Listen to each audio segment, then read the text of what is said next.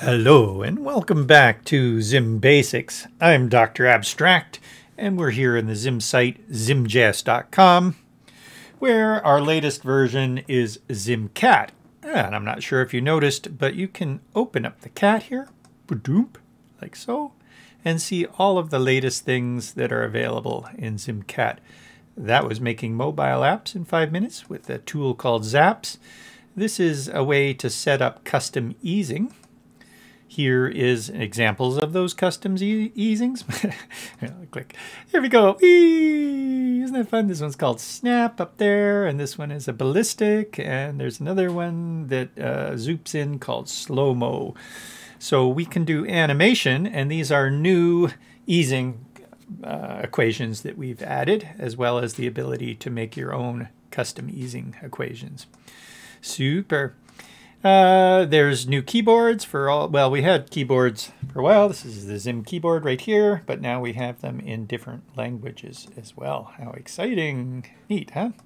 Different arrangements. Yeah, we can type letters in there. Cool. And there's dozens. That's effects and layout. There's a survey that we did. Here's the book. Zim book is really neat. And check out the front of the YouTube uh, video area to see uh, Zim story, which is all uh, code in a that reads like a book. It's so so cute. Ah, do you want to see it? Anyway, this goes on, on, on, on, etc. Also back at the front here, there's a certificate, which is a fun way to explore uh, Zim. These are all the components in here to organize this. That's not a toggle. The toggle is right here. This is a toggle. And this one's a selector right here. That's a selector. This is a, a slider and a dial. So we got the mixed up slider dial toggle. And the indicator is that one. And the bottom one is tabs. These are tabs. And we hit test. Yay, we got it correct. How about you? Could you have done that? and this is with a, oh, what do we call that one again? Scrambler. So that's a Zim scrambler. There's another example of a scrambler here. This is Zim list, so we can make lists like that. There's been, oops, there's been 10 versions right there. Uh, mind you, as, as we go, we need to do the test on that so that it keeps track of them. Uh, this one is also a scrambler. We would make a new circle, and then we say dot drag. So new circle dot drag, and then we'll be able to drag on a, a circle transforms and uh, oh here are these that this is a, a squiggle. Oh told you a wobble a doodle a squiggle. And this one is called a blob. These are those two shapes that I mentioned in the past one that are sort of um, well more organic shapes. And you can even add so I've just clicked on there you can add um, Bezier points as well and remove them by shift clicking or clicking and holding. You can also change the points. So if I double click here, now it, it won't be even. So I can make this one really long. If I double click again, they go yellow and I can make it pointy like that. Uh, if I double click again, then it becomes just a single point. So indeed, double clicking these a bunch of times, and you could even make uh, polygon type shapes. There we are. Like so. And once again, adding shapes as well in there. So that one's called a blob. Uh, this is a stepper right here. So this is a fun way to test your knowledge on Zim as well, uh, to get a certificate in the end. And that uh, might be fun for you. All right, so that's the, the ZimCat. So once again, if I refresh the page here, note the cat opens up. You open it up and you can see all of the new things. What were we going to take a look at? Oh yes, the book example on the YouTube site. So here's YouTube vids.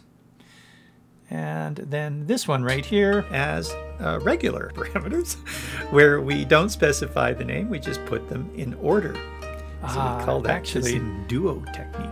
That would be a great place to go in and check out some code. The Zim Duo technique. We can make parameters in, in a regular way, or we can pass them in in these squiggly brackets that we call a configuration object. So why don't we just go right into code and take a look there. However, this is the Zim book, and you can page through it. Uh, that was the intro video. We would love it if you came here. How do I escape out of this? We would love it if you came here uh, clicked on this uh, from the front you can only view it but it would be nice if you actually see Object. it inside here we call and give us a thumb up. because that we... would be that would be handy if indeed you like the video. All right let's uh, let's take a look at that though when well it's on CodePen so I'm going to look on CodePen here. There's a couple different places we can find it but here's CodePen so if you come into CodePen right here uh, we should probably view it not in an edit. Well, an editor would be fine. This in CodePen, you can find out how we made the code. There it is. So that's handy uh, in the change view. Here is the CodePen, well, in a full view, not quite full screen, but full enough for us. And hit view. So this is the Zim story. It's in a Zim book, which allows you to pick up these pages and turn them and it's showing you how Zim is so simple, it reads like a book. Isn't that cute? And look at these pages. ready? Watch. There's the emitter right there, still showing on the page. Isn't that cool? Um, we're going to talk about the duo technique, which is in there.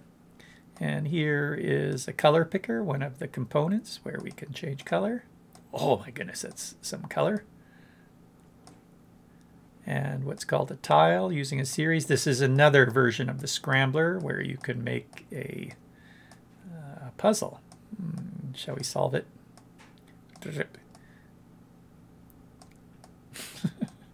I did it! Yay! Neat. And uh, you can tell there's an event when it's solved. You can tell. Uh, here we didn't bother adding the event. We can drag along one of those squiggles and blobs. And remember? So if I pick that up, oh, look at that. Isn't that cool? And there's the code over here to do that. This is the Zim pen. Whee! Hmm. And sound. Oh, I don't have my desktop uh, audio put into here. Oh, darn, we have no audio coming through. I'm sorry. Uh, aside from my, my, my talking audio. Uh, I, I got to get off this page, so I'll go back to the start here. Uh, you can also use arrows to go through this in book. Um, I just realized I had shown you the the YouTube video and it didn't have its audio turned on, which was too bad. Okay, let's go in then and take a look at these things called configuration objects uh, in the Zim Duo technique, we call it. In the past videos, we showed you what this code was all about. We made this code together. You can get the, the template to start coding in the Zim code page. So check out the earlier videos if you want to see how to do that. And now here we are inside and let's see what should we start in on? Oh, why don't we make a rectangle? Uh, we made an icon. Good. Um, and then just down here we'll make a rectangle. New rectangle and we'll make it one, how about 200 by 200, and we will make it purple. Okay, so we've just added parameters to a rectangle. We should add this to the stage somewhere. We'll center it, I suppose. There it is. And refresh here. So now we have a purple rectangle on the stage. What if we wanted to make the corners of the rectangle have uh, rounded? So we can do that. That's a parameter a little bit later on. We have to get past the border color. So if we don't want to enter a border color, we can put null, or in ES6 we usually use undefined there. I'm so used to using null, and then ES6 came along and said, null won't work. this is, excuse me, Let me try some water here. There we go.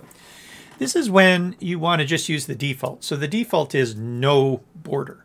I just want to change the colors, or the corners. I don't want to change the border. So I can pass in null there. The spaces don't matter here. the next parameter is the border width, and I can pass in null there too.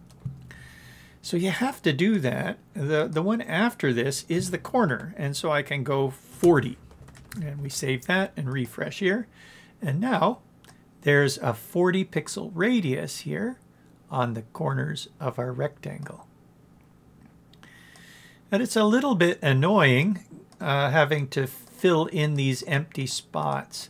So we can't just do that. It won't work because then it would think that we're passing in 40 for the border color and probably would just make us a black border. I don't know. Yeah, so it, if 40 is treated as a, as a color, or like colors are numbers, so 40 is actually a very dark number. And there it is. That's the default, uh, well, pretty well black. the next one is, you know, 3, so now, or, or something like that. We made that a little bit bigger. If we said 30, now we would have a uh, 30 pixel border. Okay, well, we don't want to put anything in there. We want a 40 pixel, so null, comma, null. We want no border color and no border width, and then 40 pixels. Uh, a button, for instance, has something like, I don't know, 40 or 50 parameters. We don't want to have to go null, null, null, null, null, null, null, null, null, null, null, to get to some parameter way down the line. That would be just unmanageable. And in Zim 2, which was called Zim Duo, we realized that. And so we uh, introduced what's called the Zim Duo technique. We're going to do the same thing as this, but with the Zim Duo technique here now. So we go new rectangle, like that. Then we specify a width. So we, we start these squiggly we start these squiggly brackets right here, squiggly brackets. It's called an object literal. And we say width colon 200. So then we put the name of the parameter followed by a colon and its value. And we put a comma, comma, height is 200, comma, uh, color is purple, comma, corner is 40. There we go and we will dot loc that at 100 comma 100 and we refresh here. And there we have the same the same rectangle. In this case I suppose we could see that it's a little bit longer to use the Zim Duo technique there with height and width. But say we had default sizes like null and null there. We could then get rid of those and now it's a little bit shorter. So we went directly to the color, and if we didn't care about the color purple, you would be doing this up here, null, null, null, null, null, until you finally got to 40 for the thing. And down below, we just go directly to the corner. And here's what we've got now. We've got two little rectangles. They're almost circles now, aren't they? Two little rectangles. That's the default size of a, of a rectangle. Uh, and uh, maybe we should reduce that a little bit so the corner stays uh, more of a corner. There you go. Of course, if the default corner is 50, uh, is that how it works? So what would we, no, the default, um, sorry, default side of a rectangle is 100. So we'd have to go to 50. If we set a corner of 50 there, this one of these will look like a circle. That's a rectangle, 100 by 100, with a corner of 50 radius, and it turns it into a circle. Funny, you can even go more than that if you want, and then it starts taking on a kind of a strange shape. Uh, why don't we do 100, and you can see what I mean there. It kind of flips right around. So we have a corner of 100, this corner right here, and it makes this strange looking shape. Interesting, huh? Anyway, back to, well, we had the other one was 20. So uh, back to our ZimDuo technique, we can specify parameters in order, or we can specify a single parameter that is a uh, object literal. Um, th that's a JavaScript uh, basic mm, uh, data construct, I guess. We have arrays, which are lists, and we have object literals, which are lists of properties and values. And so uh, it doesn't matter the order either. We could have said corner uh, color, color, colon, red there. And we, we put the color after the corner. Uh, that's the wrong parameter order, but sure enough, that still works. So the order then doesn't matter. The only thing is we have to know what the parameters are called. So that's sometimes that's easier to remember though than the order of things. Like I sometimes don't remember which order these parameters are in but I'll almost always remember what the parameter name is called. We used it over and over again. So it's up to you. You can use either one, uh, whichever one is easier for you. And that's what we do. We swap between them. Uh, why don't we take a look at an, an animation example so that we can see a bit of animation as well. And in animating, we often use the ZimDuo technique as well. So we'll animate our rectangle. How about uh, we'll, I don't know, it's not a very exciting rectangle at the moment, isn't, is it? So we'll go 200 here, 200 here, and this is the color. We'll keep that at purple. We'll keep the null null and 20, that's fine. And I'm not going to bother using this one right here, so we'll comment it out. So dot center and dot animate dot animate. So animation happens with the the round brackets. I'm not sure what happens if we animate and don't put anything in the animation, just nothing. And let's bring that up again to something like 40 on the corner. So there we have our rectangle sitting there in the middle. We're, we didn't really do anything in the animate, so it hasn't given us anything.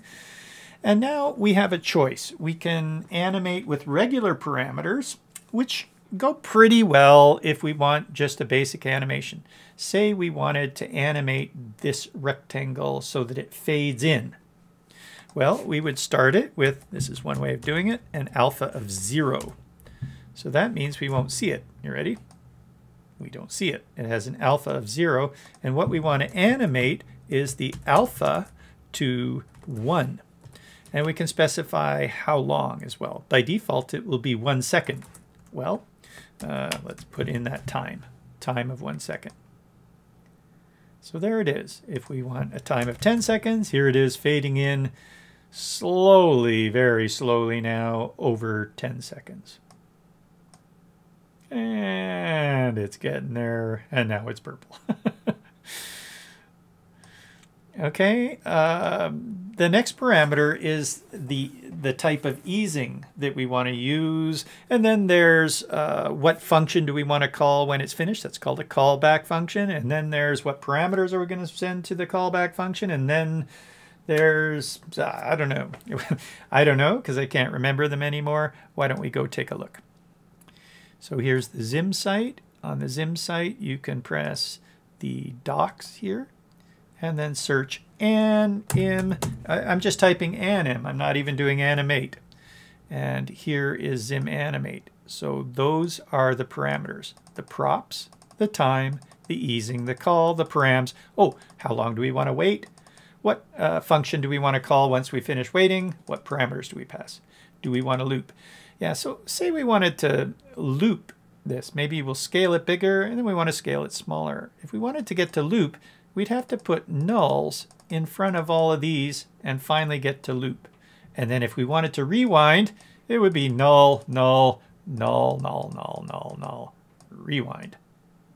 So you can imagine that's not very fun to do, which means most likely we would just start right off with the ZimDuo technique and use the, or the, the second one of that, which is the configuration object or the object literal. So an object literal is a JavaScript construct. It just looks like this. It means give me an empty object. This is an empty object. There it is. And we can assign it to a variable.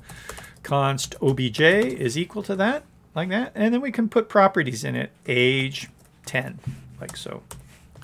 And if we wanted to, uh, Zim has this thing called Zog. It's a short form for console.log, which is long. And Zog is short so we can log to the console what the obj.age is. or we can indeed zog to the console what the obj.age is. Remember, the dot syntax is how we can access the property or run a method. Here's running a method, here's accessing a property. So we're going to zog that in both cases, and we refresh here and run it. And then this is where you access the console. And there it is, 10 and 10. Boom, like that. So that's an object literal. If you want to do multiple properties, you can specify another property, um, gender. I was trying to figure out which one's better to do here, color or gender. It's like, oh, God, I'm going to run into problems no matter what we do. Uh, I happen to uh, identify as male, as made. I'm made. Somebody made me. Anyway, uh, there's two properties now with their values. Uh, and therefore we could zog the gender. By the way, zog's kind of fun. Uh, it, it can be odd. Like, I, I don't know, was it odd when you looked at Zim and I, I mean, maybe you, up here you saw the fact that we, are we zogging? No, I didn't, we didn't zog. I took that out of the template. That's right. we used to have in the template zog high from frame or something like that. And I, I don't know if people would look at that and go, I don't know what Zog is. And the more they see that they don't know what it is, the more they kind of get scared about it. There's nothing, nothing to be scared about uh, Zog. It's a short form for console.log, so you don't have to type console.log. And it's a Zim wrapper that does that. What's neat about it as well is you can Zog different colors. So here's zogging red, and, that would make a little red Zim icon next to what you're zogging. Here's zogging blue, here's zogging yellow, here's zogging orange, etc. Green, double G. And that um, is handy when you've got a bunch of uh, logging to do in the console and you want a, a quick visual indication. So why don't we check that out? I'll zog R for red. I'm going to open this up in a browser. The browser console is a little bit nicer to look at. F12. So F12 for the browser console, and I can expand the browser console to be bigger where that other in-app or whatever it is, browser plus uh, console doesn't allow us to do that. So there it is. There's 10. It tells us line 38. And there's uh, a red Z next to our other 10, which tells us 39. So that's handy when you've got a lot of things to zog. It can be nice to have this sort of color coded. You, oh, we do have a, a Zim frame being zogged as well.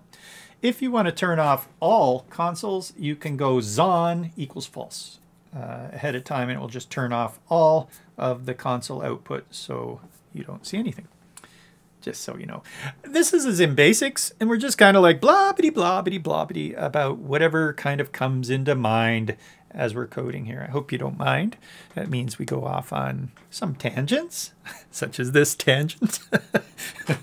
oh no, it's a meta tangent. Oh, yeah, this is, oh, meta, meta, meta, meta, meta. Uh, on to infinity. All right, so uh, if you're still with us, hopefully you are, that's a little bit about uh, zogging and consoling, and a little bit about object literal right? Just to, it is a JavaScript construct, and what we're using it for is to pass properties in as parameters. Uh, well, actually, not in this case. So in this case, it's a bit tricky because the first parameter is what properties do we want to change? Well, we want to change the alpha. Say we want to change the scale 2, we could go scale colon 2. I meant scale 2 as in as well, T-O-O. But uh, in this case, um, we're going to double the size of it as well. And we refresh here. Now, oh, right, we got a 10 minute. So over 10 minutes, it's going to scale in. And there's a little bit something funny about that scaling in. Did you, did you see that? It's not right what I expected. And let's also change the time of this to more like maybe a two second scaling. So that's a two second uh, fading and scaling. There it is. Not very nice because it's scaling from its registration point of the top left corner. And we talked about this in the last Zim Basics. The solution is center reg that, right like that. And now, when we refresh, it scales in from the center of the object, which is much nicer. Still a bit slow. One second. Whoop. or even 0.7 seconds is fine. Uh, Zim, by the way, uh, Zim Cat is in seconds. All the versions of Zim before Cat were in milliseconds. So we refresh here, and there's a 0.7 seconds. So now we're in seconds here for the amount of time as opposed to milliseconds. If that really bothers you, you can, uh, up above here somewhere, probably at the start of your code, say time equals milliseconds. And then it will all go back to milliseconds. So that will affect things like intervals and timeouts and uh, you know, any anywhere we've got time will now be in milliseconds. Okay. Um, down below here. So this is a simple animation where we're just saying what properties we want to animate and in how long. But now if we wanted to rewind that so that it goes back smaller, as a matter of fact, I, I don't want to fade in the alpha, I'll just do the scale. So ready, there we go. And then we can just have this rewind back and forth. If we want to get to rewind, or loop and rewind, we'd have to do the, all that bunch of nulls, nulls, nulls, which like I said, we definitely would not do. So now we go to the duo technique. And this is tricky because we've already got an object literal in here that is responsible for saying what properties we want to animate. So we're going to end up with nested object literals. So a way that we can convert is select all the stuff in there and put two squiggly brackets. That makes our object literal around the outside for us. If we want, we, we can say props here because that's what the, the name of the parameter is. It's called props. And this name right here is called time. So we can do it like that. That would be fine. But uh, what I often do is just drop it down like this. And I say props, colon. And then here I drop it down and I say time, colon. And then this one drops down to the end there.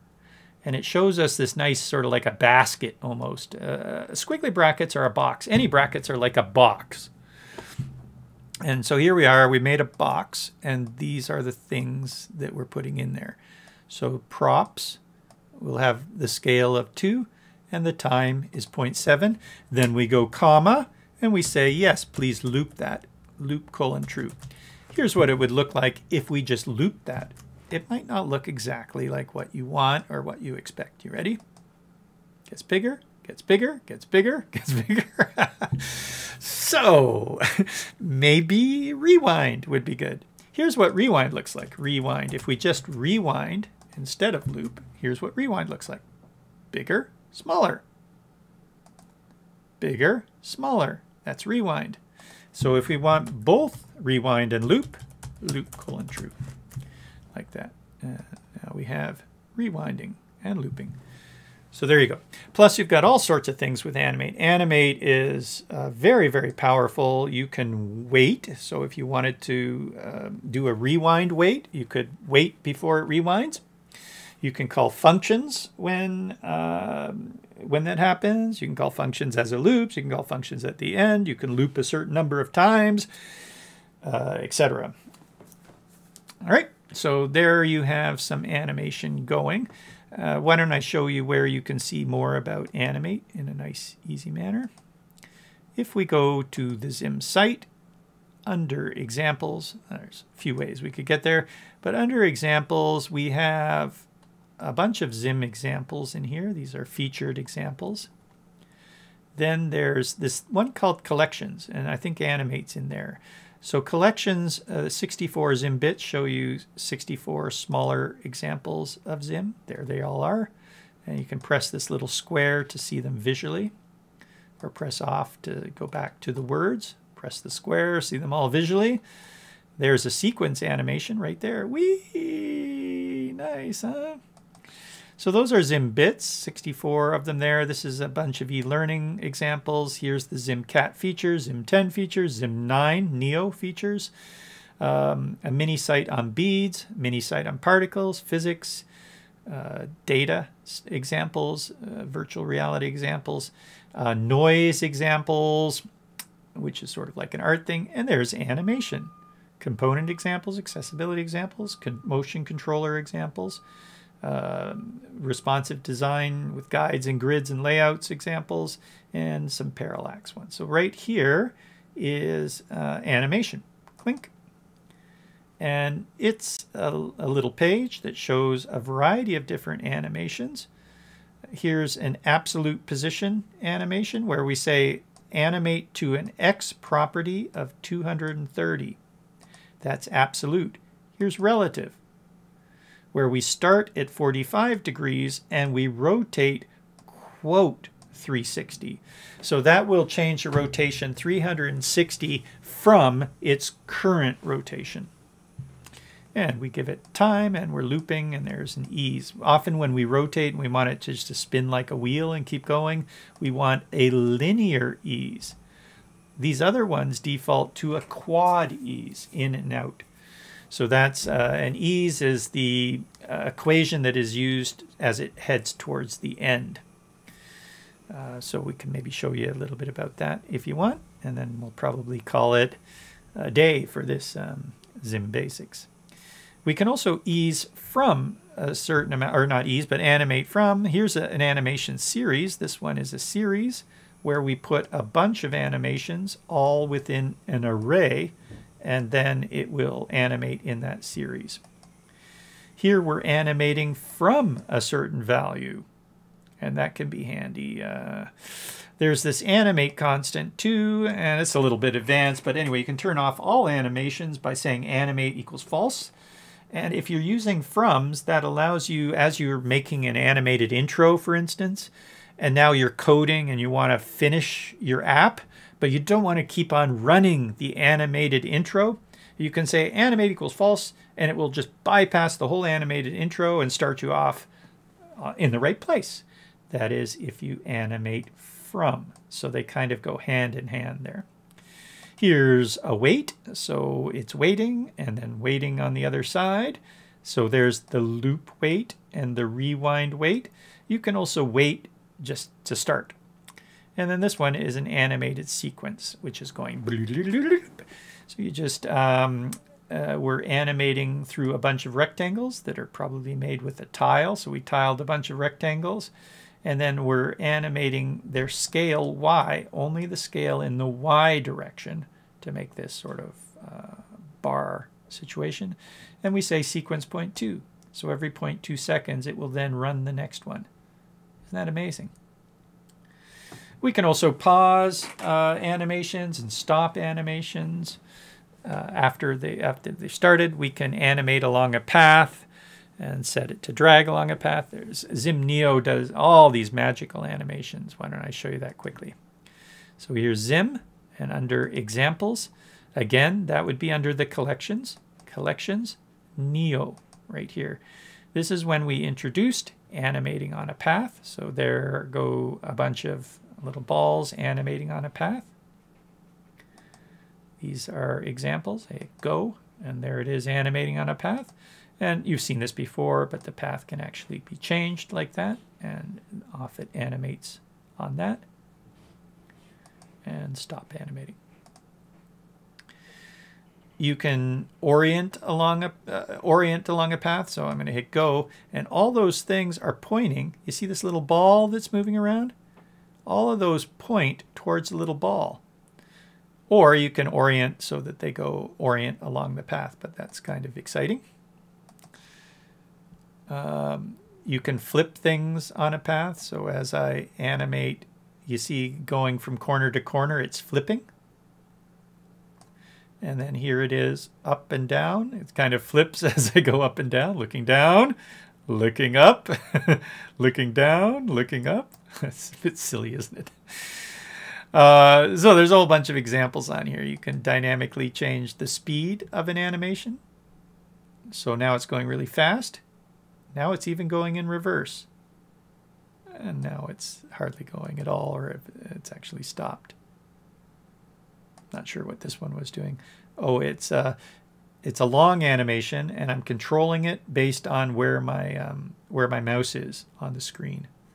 We're uh, scrubbing, in a sense, scrubbing that animation. This is pretty amazing. That box just now it's come through the cloud. Now it's gone behind the cloud And it takes longer to go as it's farther away, and it gets faster as it comes closer. It also gets bigger, and as it gets farther away, it fades out. So let's show you the path that that's on. There's the path, and if we wanted to, we can change the path as well, like that. So there it goes, and that's changing its layer as it goes farther. And so it's quite um, advanced Zim animation. As a matter of fact, it may be the most advanced animation around. you can animate on animated properties. So animate on properties that are animating themselves. It's like, whoa, my goodness. How, how could you get more than that? Here is industry-leading dragging on a path. We don't even see the path here but I'm picking that up and dragging it on a path. There's the path. This path may or may not be editable by a person, and it gets smaller as it goes up and bigger as it comes down. Neat, huh? There we are, pausing the animation, and we can still drag it if we want. And what's the last one? It's parallax. So uh, we're doing parallax here and a variety of things. There, there's a little path there and we're making that path. You see how he's animating as I go up and down. Look at that. He's, he's spinning around that tree. So it's changing the depth as it goes to spin around that tree. There's also something going on with percent completes and zooms and, and other stuff there. Anyway, that's ZimNio. And since that time, we added even more features and more power to animation with respect to animating on paths. Uh, easier to use percent completes and animating from one place to another, one percent complete to another percent complete on squiggles or blobs, etc. So that's cool. And where are we at now? We talked, we looked at a little bit about animation and you saw where we can see, find out more about animation. Hmm. One thing, if you're animating something as you're dragging it, uh, it may stop the animation. So you see how we're dragging this circle? Let's do the same thing with the rectangle and turn it on to drag. So dot drag and see where we're at on that. I can't quite remember. So now I pick this up. Oh, it stopped. So you see how as I'm dragging this, the animation stopped? Let's try again. I pick it up and the animation stops what you would do is say drag, allow, mm, tweens, colon true, I think it is. And we refresh here. Nope, allow, we'll have to look it up. It's a parameter of drag. And go to the docs, Zim docs, and look up drag, drag. That's drag all. Be careful, that's drag all. So I hit go and it goes to the next one. Here it is, drag. Oh, remove tweens. okay, so rather than the positive, oh darn, usually we like to choose the positive. Um, allow tweens, true, and make that true. Probably should rename that to be it. But anyway, remove tweens, false is what we want there. So remove tweens, false. Go. And we refresh here, and as I pick this up, it now continues to animate. Uh, quite odd. The, the reason we did that is a lot of times things were animating two locations and then you go to pick it up to drag it and it starts to jostle back and forth between where it wants to animate to and where you're trying to move it to. And people who were beginning to code didn't know what to do with that. so we defaulted it to automatically pause the animations if we're dragging it. Uh, but like I said, there, there's the solution if you don't want that to happen. Also note that this is now up on top, and if I pick up the circle, it, the circle is now on top. So whatever gets picked up is what's going to be on top, and if you don't want that to happen, then you can say on top, you can spell it, colon, false, comma. So do we want what we're dragging to come up on top? By default, that will be true. So if we set it to false, what happens is this. There's the circle on top, and if I pick up if I pick up this thing, it's not coming up on top. It's it's in behind there. Circle is always on top. with respect to on top and on the bottom, and we'll call we'll we'll leave it at that. This will be the last thing we'll take a look at is layers.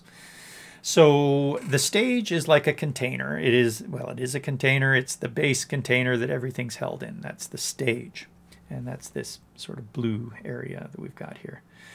Uh, we'll probably take a look at containers soon, maybe in the next uh, basics. That might be something to look forward to. Uh, but even here on the stage, we have layers. And, and in another container, a container has its own layers. And containers can be put in containers and they can have their own layers. So whatever gets added to the stage last, or a container last, will be on top. That's sort of how it works. So we made, over here, a circle that's going to be on the bottom. oh, right, but when we drag it, it comes up on top. So we, we haven't added the um, on top colon false to the circle. So it starts off, oh, we can't quite tell, but that circle's actually behind this. Oh, we can't tell. Circle's behind that, and if I pick it up, then the circle comes up on top. Anyway, uh, in terms of layers, if we wanted to switch it around so that um, well, I, it's kind of confusing because we've got the on tops on one and not on another. I don't know which way to demonstrate this. Uh, let's turn off the on top up here. And if we do it, we can practice our Zimduo technique. Because on top is a parameter of drag, but it's far away. So you can't do it this way. This parameter is the boundary. That's the first parameter. You can't just say comma, squiggly brackets, on top colon false because that's a combination. Then, then we've got a normal parameter, comma, and then the Zimduo technique of the object literal. You can't do that. So in other words, we have to put this also into here. We can do it like that. We put the squiggly bracket on the front here and we say boundary colon. So there's, uh, uh, we'd be fine leaving it here on all one line, but often I like to break this down into multiple lines. you can also comment those out if you want. So now that they're on multiple lines, if we wanted to, we can say, no, not that one. And then this one would still work. Cool, huh? So here we've got drag, and we've said that the boundary is this boundary, and on top, colon false. So now the circle won't come up on top when we drag it. And we refresh here. I pick that up. I pick up the circle. The circle, as you can see, being the first thing made, is at the bottom. It's even underneath that Z, where the Z was made, the Zim logo was made second. So the circle's made first, it goes on the bottom, then the Z, and then this thing comes up on the top. Well, what if we didn't like it like that? What if we wanted the purple thing to be on the bottom? Well, we could make the purple thing first, so we could cop, uh, cut all this code and put it up above. So if we cut it all from here and built it first before the circle, then the rectangle is going to be at the bottom. We pick that up, and as you can see, the rectangle is behind everything because it's the first thing that got put there. But we don't have to do it that way because we have tools that let us change the layers. So if we put this uh, back down to the bottom here, we're back to the rectangle being on top. Rectangle's on top of both of those. But if we say dot bot, then that builds it and puts it at the bottom. So that's one way to do it. Refresh here. Hey, the rectangle's been put at the bottom. Okay, it's one way. The other way is uh, instead of a dot bot, as we add it, center reg is what's adding it to the stage. It puts the registration point in the center, so it animates uh, about its center. And it automatically adds it to the stage, like that. The next parameter is what index? Zero. So if we say, yeah, please put it at the stage, or we could pass in null there because that's the default. But if we're going to put something there, we may as well put the stage.